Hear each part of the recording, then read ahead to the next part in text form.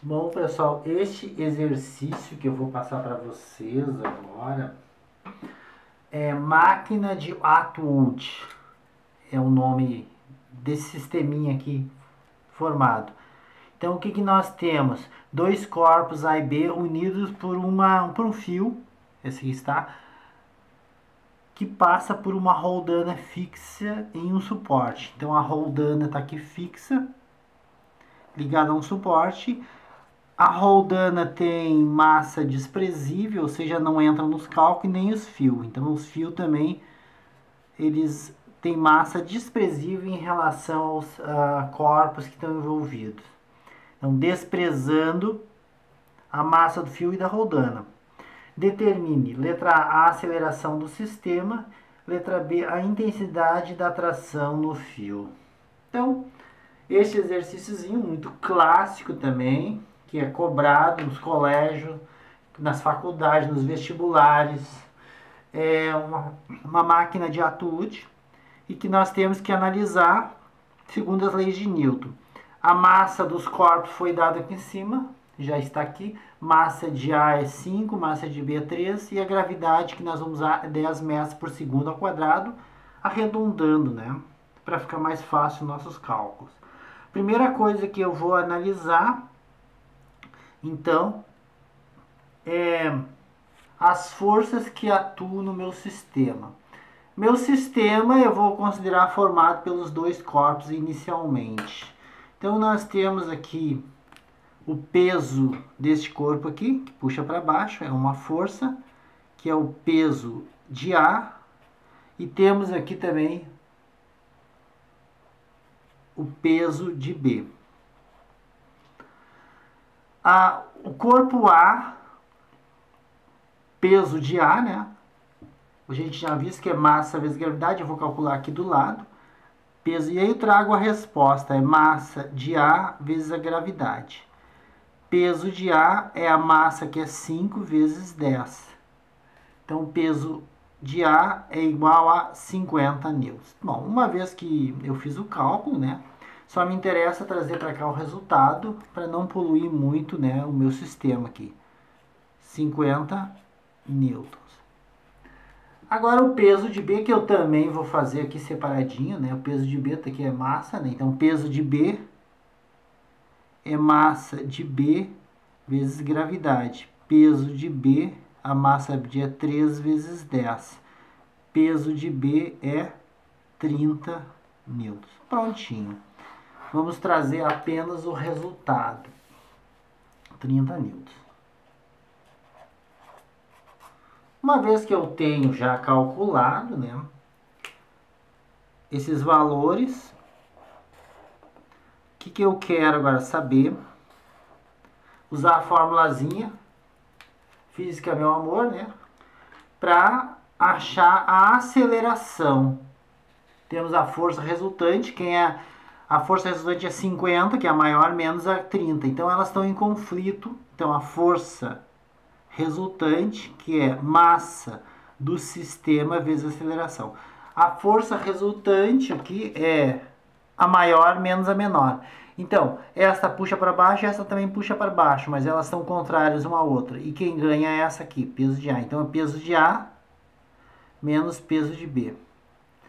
Qual é a massa que está se movimentando aqui do meu sistema? Olha, pessoal, esta está descendo e essa está subindo. Então, essa força resultante vai fazer com que as duas se movimentem, tirar da inércia as duas. Então, seria a massa de A mais massa de B, que no momento meu sistema são os dois. Então, com isso eu vou achar a aceleração. Não se esqueçam, pessoal, que aqui, ó, depois a gente vai analisar, tem uma tração, né? E aqui tem a mesma tração. Porque este bloco descendo dá um puxão nesse, que por sua vez dá um puxão nesse. Depois eu vou considerar isso. O meu sistema agora envolve os dois blocos. Então ele engole a tração. A tração está dentro, então ela não entra nos cálculos. Agora, eu só vou procurar a tração quando eu tiver que achar ela. No momento eu quero achar a aceleração, que é 30, é, que é 50, menos 30 igual a massa de A, que é 5 mais 3. Uh, e 50 menos 30 dá 20 e 8A. Passa para o outro lado, 20 sobre 8 é igual a A. Dá para dar uma simplificadinha aqui por 4. Se eu dividir em cima por 4 e dividir embaixo por 4, 20 por 4 dá 5 8 por 4 dá 2. Então a aceleração é 5 sobre 2 metros por segundo ao quadrado. Se não gostam de fração, pode escrever 2,5 metros por segundo ao quadrado. Então essa é a aceleração com que o sistema se movimenta. É óbvio que a aceleração vai ser nesse sentido, a favor da maior. Agora que nós vamos achar a tração, eu vou escolher um corpo, qualquer um deles, como meu sistema. Eu vou escolher o corpo A, poderia ser o B. Depois a gente faz com o B também, tá, pessoal? Vou pegar o A aqui e vamos colocar as forças que atuam sobre ele. Quais são as forças? Para baixo tem o peso de A, que é 50 newtons, e também tem uma tração desconhecida ah, fazendo força resultante, aquela história toda, a única fórmula que vocês estão usando, força resultante igual a massa do sistema vezes a aceleração. Força resultante é quem ganha menos quem perde. Ora, como a gente sabe que a aceleração está a favor da maior, desse sentido aqui, então esse é a maior, então seria PA menos T, igual a massa do sistema. O sistema no momento é estou analisando as forças em cima do bloco A. Então, A é o meu sistema, vezes a aceleração. Então, PA é 50, menos T, a massa de A é 5, vezes a aceleração, eu vou pegar aqui 5 sobre 2, que eu achei, vou deixar em forma de fração. 5 sobre 2. 5 vezes 5, 25, 50 menos t igual a 25 sobre 2. O que eu poderia fazer aqui? Eu posso até dividir o 25 por 2, vai dar 50 menos t igual a 12,5. Se eu dividir. E aí eu passo o 12 para o lado de cá, 50 menos 12,5 igual a t, passa para o outro lado. Fazendo a subtração dos 50 menos 12,5, nós encontramos 37,5 newtons é a tração. Bom, com esse cálculo, né, conhecendo a tração que vai ser submetida à corda, eu já tenho condições de, na hora que comprar a corda, né, comprar uma corda já de grossura suficiente para suportar isso. Não preciso comprar uma corda para suportar mil newtons, seria gastar dinheiro à toa. Também não preciso comprar uma corda para suportar 37,5 newtons, seria correr risco. Então eu sugeria comprar uma corda com que aguente o dobro né, disso aí. Bom, mas aí agora que eu já mostrei para vocês como calcular a tração usando o sistema. Eu gostaria de fazer o seguinte. Eu peguei o bloquinho A como sistema, né? Eu vou pegar o bloquinho B agora como sistema e tem que achar a mesma coisa para tirar a prova, né, pessoal? Aí vocês vão saber se acertaram, ó. De novo, o bloquinho B aqui, que eu estou reproduzindo, ele, eu vou fazer ele aqui destacado, ó, o meu sistema agora é o bloquinho B. E sobre esse bloquinho B atuam forças. Uma delas se chama T, que é para cima, que eu vou ter que achar os mesmos 37. E a outra força é o peso de B, que puxa para baixo. 30 newtons. Tá, coloquei aqui. Esquece. Rodando, esquece tudo. E agora vamos trabalhar só com isso aqui. Então, a força resultante igual a massa do sistema vezes a aceleração.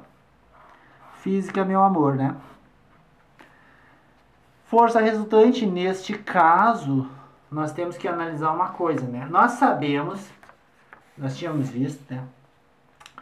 Que a aceleração está a favor dos 50, está descendo.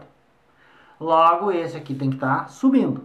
Então, a aceleração está a favor do maior. O maior é T dessa vez. É T menos P ou P menos T? É PB, não, é T que é maior. A maior é T, porque a aceleração está a favor da maior. Está subindo. Então, é T maior que os 30. Uma vez que a aceleração diz que é para cima, então é porque o T tem que ser maior que o 30. Então, neste caso, por que, que eu fiz isso, né? Porque aí eu vou ter que pegar T, que é a maior, menos a menor, que é o PB. Porque a aceleração é para cima. E a aceleração é a favor da maior força. Ah, e não é PB menos T, é T menos PB. A massa, a massa de B, porque agora o meu sistema é B, vezes a aceleração. A aceleração vocês já calcularam, é 5 sobre 2 metros por segundo quadrado. Então, T menos 30 igual a massa de B. A massa de B foi 3, foi dada, vezes 5 sobre 2, que é umzinho, né? Então, T menos 30 é igual a 15 sobre 2. Uh, passa o 30 para o outro lado, vai dar T igual a 30 mais 15 sobre 2. 15 sobre 2, se vocês pegar uma calculadora, vai dar 7,5, 7,5. T igual a 30 mais 7,5. Então, somando, T vai ser 37,5 newtons. E vocês estão vendo que fechou a resposta, então é porque está certo. Se a tração antes eu tinha achado, usando esse bloquinho aqui, né, o bloquinho A, eu achei, aqui está a prova, 37,5. Agora, usando o bloquinho B, eu achei os mesmos 37,5. E com isso eu sei quanto essa corda vai suportar. O engenheiro pode comprar uma corda de acordo com essa necessidade. Então, então se vocês uh, olharem bem, esse exercício foi até meio simples de fazer, porque a gente faz desse jeito, né, usando essa formulazinha, força resultante, massa, sistema, vezes aceleração, e a gente vai analisando o sistema de acordo com o nosso interesse. Eu vou fazer outro exercício nesse vídeo, que eu não costumo fazer videozinho muito curto. Então vamos preencher esse vídeo com outro exercício. Esse é o exercício 1. Bom, esse exercício aqui, o que, que nós temos? Nós temos aqui um bloco e outro bloco. Esse bloco está sendo puxado com uma força de 600 newtons, como está aqui e a massa desse bloco é 80, a massa do outro bloco pendurado é 20, gravidade 10. O fio é ideal e nós já sabemos que as forças que atuam aqui, a gente tem que analisar agora as forças que atuam. A roldana também não entra no cálculo, ela é massa desprezível. E eu quero saber, para a gente ter alguma coisa para calcular, a aceleração do sistema, né? E também a intensidade da força que traciona o fio. Então, a tração aqui. Colocando as forças que atuam, esse bloco B puxa, tem um peso aqui, peso B, que puxa ele para baixo e como consequência ele puxa esse aqui e dá o puxão aqui também. Ação-reação, né? Eu dou um puxão, ele também dá um puxão. O peso aqui, peso de A, é cancelado pela força normal e aí não promove movimento. Ele não entra nos cálculos. O atrito é desprezível, não tem atrito, está escorregando lisamente. E tem 600 Newton aqui. E aí nós temos que começar né, calculando as forças envolvidas. Esta força aqui, peso de A, eu não vou precisar calcular, nem me interessa, porque ela é cancelada pela normal. Já esta outra aqui, o peso de B, vai se contrapor a esses 600 newtons. Então, eu calculando o peso de B, aqui num cantinho, da massa de B vezes a gravidade, peso de B, massa de B é 20 vezes 10. Peso de B igual a 200 newtons. Ora, se o peso de B é 200 newtons, colocando aqui 200 newtons, ele se contrapõe aos 600 lá em cima. Então, a primeira coisa que eu vou calcular, já, já sei as forças envolvidas. Este peso é cancelado pela normal, mas esse peso que está pendurado não é cancelado pela normal, ele, ele puxa. E aí ele vai se contrapor àqueles 600 que está lá. A primeira coisa que eu vou calcular é considerar o meu sistema, todos os dois blocos. Então, o meu sistema é a força resultante em cima dos dois blocos. Vamos pegar uma folha aqui para fazer separado força resultante é igual a massa do sistema vezes a aceleração. Força resultante, quem é? Ora, tem esse 600 puxando para baixo, tem esse 200 puxando para baixo e aquele 600. Óbvio que esse 600 vai ganhar dos 200. Então a força resultante é a força F, F aqui, menos o peso de B. Porque o meu sistema é os dois blocos aqui, ó. Então, o meu sistema é a força em cima do conjunto. Já a massa, que está se mexendo aqui, a massa do sistema. A massa do sistema, quem está se mexendo? Ora, quem está se mexendo são os dois blocos. Este aqui puxa com 600, este vem para a esquerda e esse sobe. Então, os dois estão sendo tirados da inércia com essa força resultante. Então eu tenho que botar massa de A na jogada aqui, massa de A mais massa de B, vezes a aceleração. Substituindo o número 600 menos 200, a massa de A é 80 e a massa de B é 20. Vezes A. Aí nós temos que agora fazer o cálculo para achar a aceleração. Aí não precisa mais do desenho. 400 igual a 100 vezes A.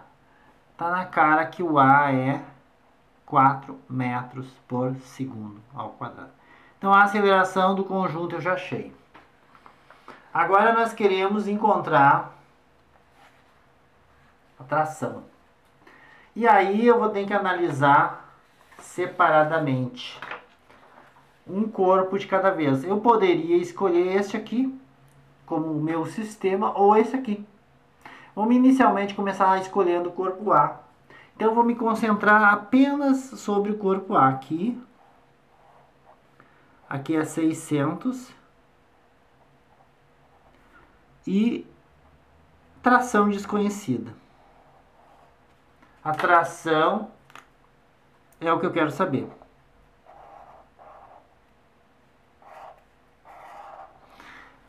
Então, a massa do A, a massa do A é 80 quilogramas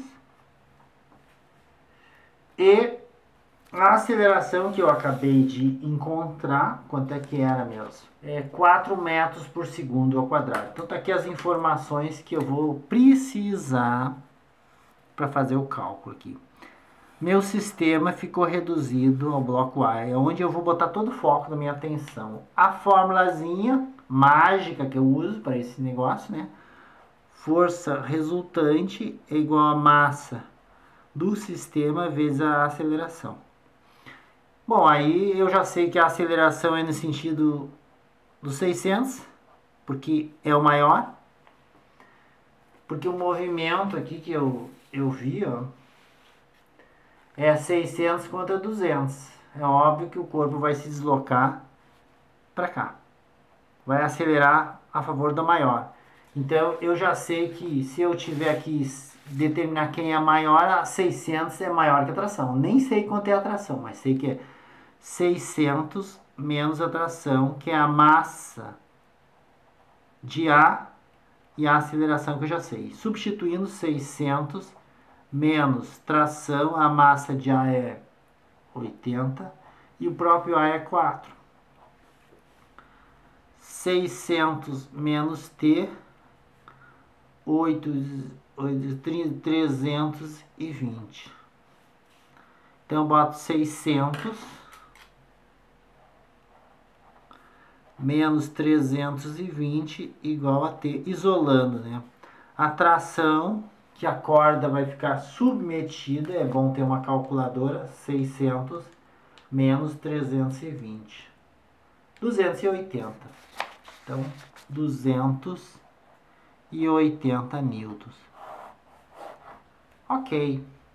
Agora vamos fazer o mesmo exercício, entretanto, usando como referência o sistema, né? A gente vai pegar agora o bloco B para ver se a gente vai achar a mesma coisa. Se nós achar a mesma coisa é porque a gente acertou, já dá para tirar a prova. Então eu vou desenhar aqui o bloco B e ele vai passar a ser meu sistema. Então aqui para baixo nós temos o peso do bloco B, que eu já calculei aqui que é 200 newton. 200 newton e a tração. Então o bloco B está submetido entre essas duas forças e a força resultante é uma menos a outra. É óbvio que como esse bloco está subindo, né, a tração é maior, sim, porque a gente já viu que o 600 puxa a favor de 600, a aceleração. Então, se eu for saber que ele está subindo aqui, com a aceleração para cima, o T é maior que o P, que o PB. Eu não sei quanto é que é o T, Nesse caso, vamos fazer de conta que eu não saiba, né? Porque eu já sei quanto é que é. Então, seria a força resultante igual a massa do sistema a aceleração. É a força resultante? O T menos o PB. A gente já sabe que a maior, o T é maior. A massa do B, a massa do B vezes a aceleração. Depois que eu coloquei, né, força resultante, a massa do sistema, aí eu faço o cálculo, o T, vamos fingir que eu não sei, menos 200, a massa do B é 20, qual é a aceleração que eu, que eu achei? A aceleração que eu achei é 4.